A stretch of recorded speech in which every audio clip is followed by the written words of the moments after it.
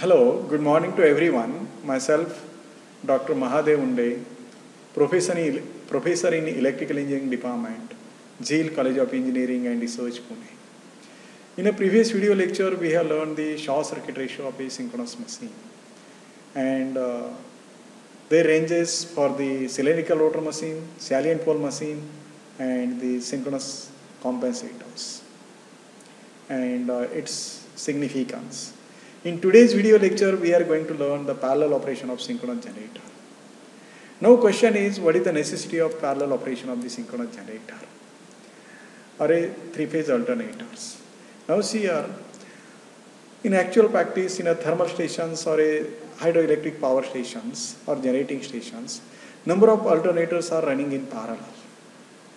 In order to add or addition of one or more alternator or deletion of switching off one or two alternator doesn't make any difference on the infinite bus.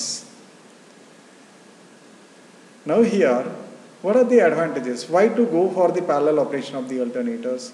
See, the machine which is to be connected parallel to the machine which is already running, running or synchronized to the bus bar is known as incoming machine.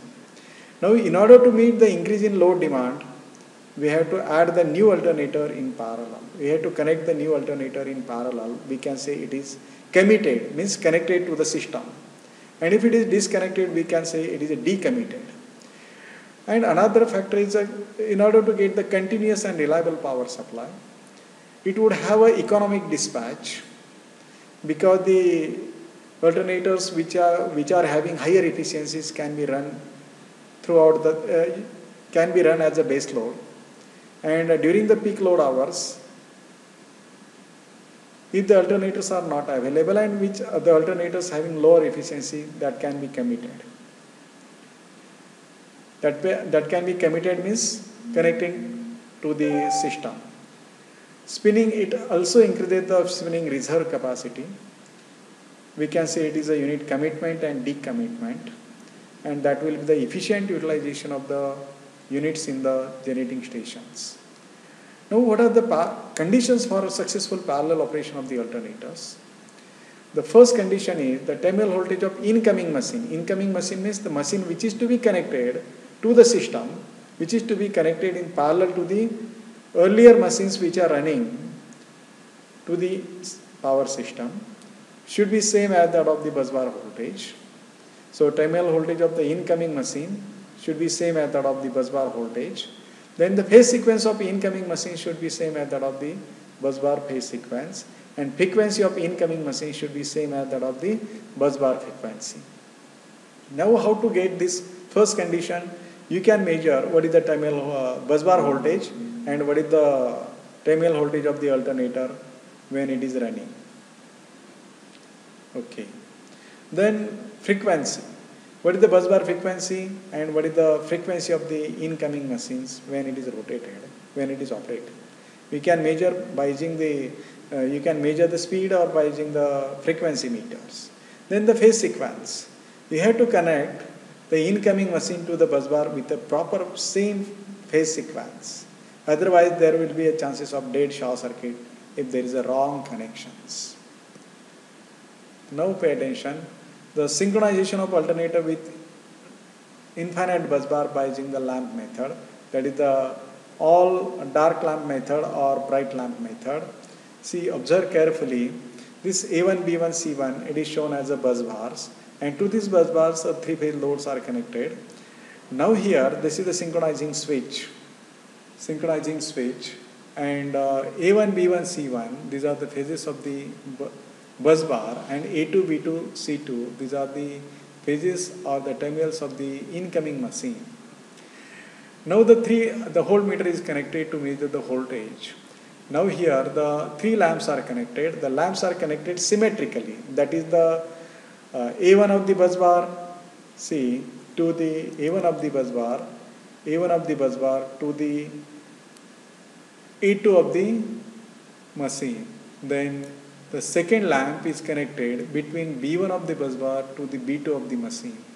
Then the third lamp is connected between C1 of the bus bar to the C2 of the machine means they are connected symmetrically and therefore when the machine is synchronized, when the machine voltage is equal to the synchronous bus voltage, machine frequency is same as that of the uh, bus frequency and their phase sequence are correct, all these three lamps will become simultaneously dark and simultaneously bright.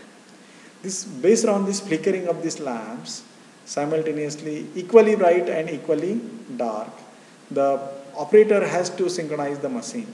But here is a lot of drawbacks there that depends on the the sense judgment of the operators and therefore instead of this method the another method one dark and two equally bright lamp method is preferred here also the judgment depends on the operator but however we will learn this method and then we will make the comment on this so uh, what is the how to connect these lamps the L1 lamp is connected symmetrically. That is the R of the machine to the R dash symmetrically. Then L2 is connected asymmetrically. That is Y to B dash and the L3 is connected between B and Y dash. That is asymmetrical connections. Now you can observe here. The, this is the bus bar. This R, Y, B. These are the bus bar.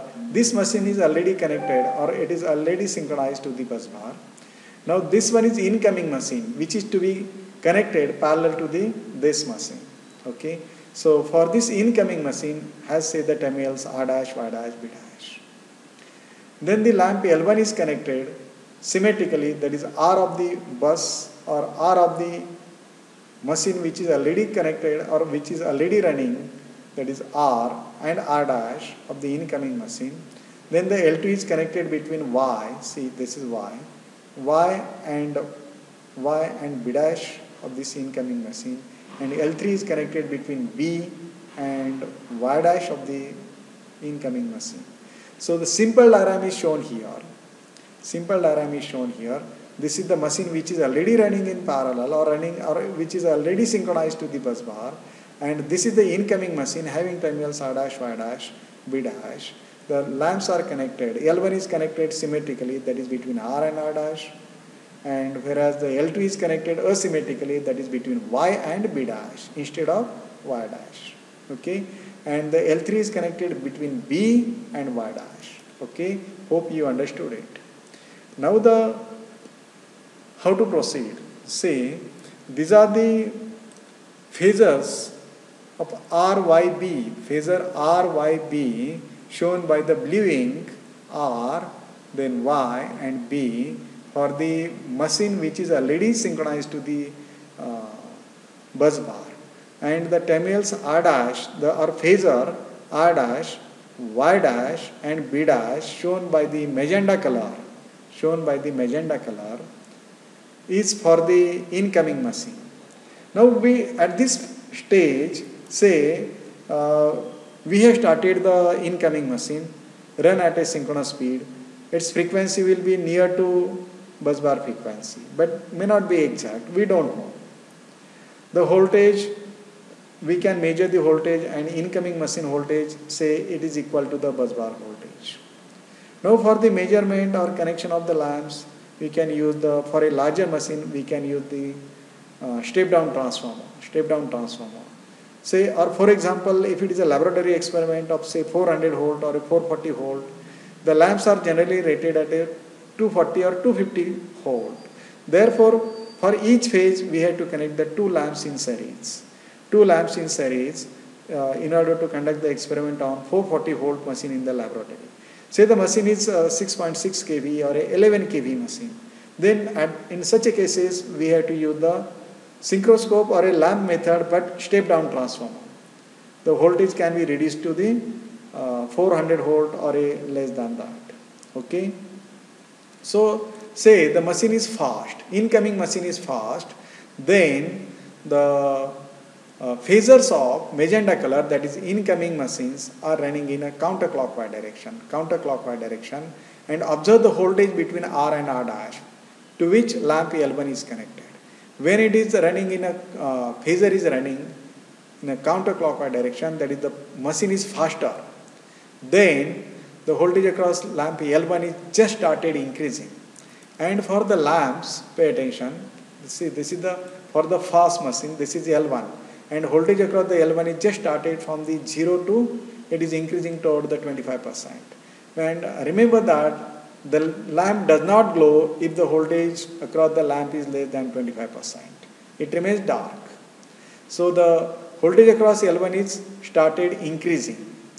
Whereas voltage across the L2, voltage across the L2, see here, it is it is voltage across the L2 has reached the maximum and now it is decreasing. It has started decreasing which has been reached to the maximum value. So it has started decreasing which was earlier 100% and now it is started decreasing. And what is happening to the voltage across L3? Voltage across L3 is increasing is increasing and approaching toward the maximum value is approaching toward the 100% value shown here. So if you observe carefully the fast, say when the machine is fast, incoming machine is fast, the sequence of the lamp glowing is L2 first because the voltage is large and just now decreasing, uh, uh, decreasing, started decreasing but it was earlier 100%. Now the L, L, L3, it is approaching, it is increasing and approaching toward the 100%. In between these two lamps L2 and L3 becomes equal. The voltage across them become equal in between this because L3 is approaching, it is uh, approaching toward the 100% and L2 is decreasing from 100%. Somewhere they become equally bright.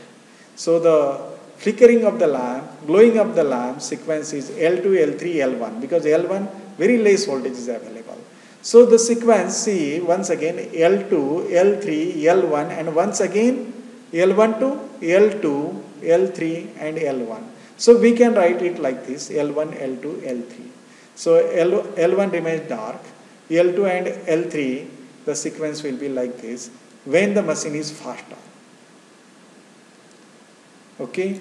And say in case the machine is slower machine is slower for the slow machine this magenta color phasors are appears to be rotating in a clockwise direction. Clockwise direction so you can imagine what will happen to L1 what will happen to L1 the voltage across the L1 will start decreasing because this this magenta color is approaching toward the R phase approaching toward the R. So it is decreasing. See here the voltage across L1 is decreasing but it, it remains a dark. It will not glow okay?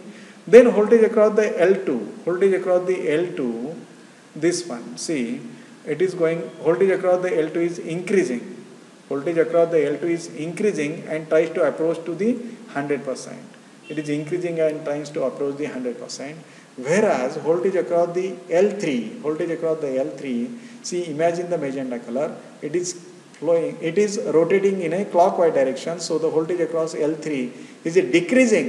It is decreasing and just now passed the 100%. Just now passed the 100% and now it is decreasing. Now these two lamps will be equally bright. The voltage uh, across them will be equal in between this. In between this. So what is the sequence of the lamp glowing?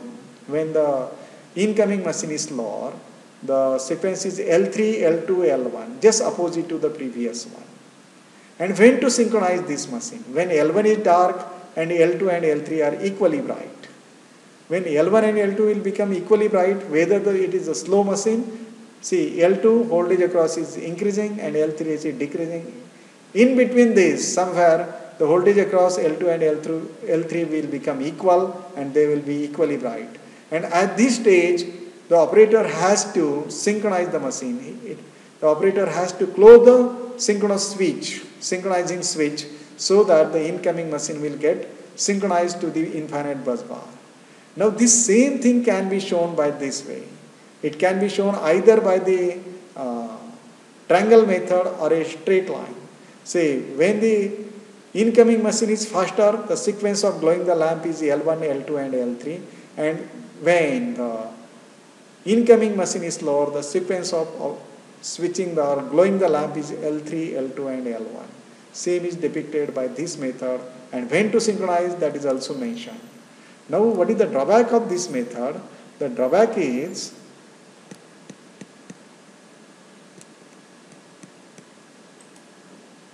the drawback of this method is the synchronization depends on the judgment of the operator and it varies from person to person. Therefore, instead of doing by person, synchronization by person, we can use the synchroscope. We can use the synchroscope. Now this synchroscope consists of the three coils, inductive coils, and uh, out of that, one is connected to the single phase supply. Now here, it shows whether the machine, incoming machine is slower or faster. It, it is shown by just reverse way. That does not make any difference. So this machine A is already connected to the infinite bus bar. The machine B is the incoming machine and this one is the synchronizing switch. It will be automatically and this will be the hold meter. Now here simply we have to wait, we have to increase or decrease the speed of this and watch here watch here, when the pointer comes to the exactly vertical, vertical, we can close the synchronizing switch. So in this way, we have seen the use of synchroscope for the synchronization of the alternator and one dark and two equally bright method. So hope you understood it. I will stop here. Thank you. Thank you very much.